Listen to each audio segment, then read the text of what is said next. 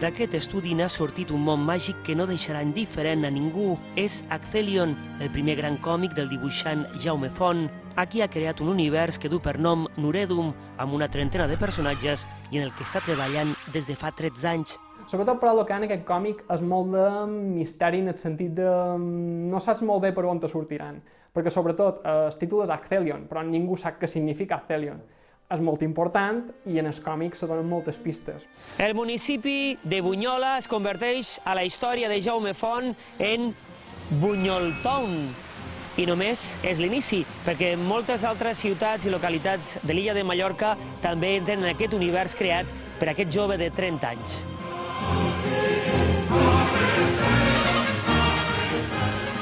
Les trames i l'estil poden recordar El Senyor dels Anells o Joc de Trons, amb tot aquí destaquen diversos mites i llegendes mallorquins.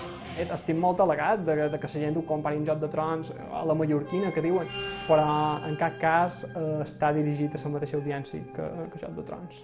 Està més dirigit, sobretot, eh, a, a l'alumnat, eh, jo soc docent, i sempre eh, intent fer coses que incitin a la lectura de, dels més petits.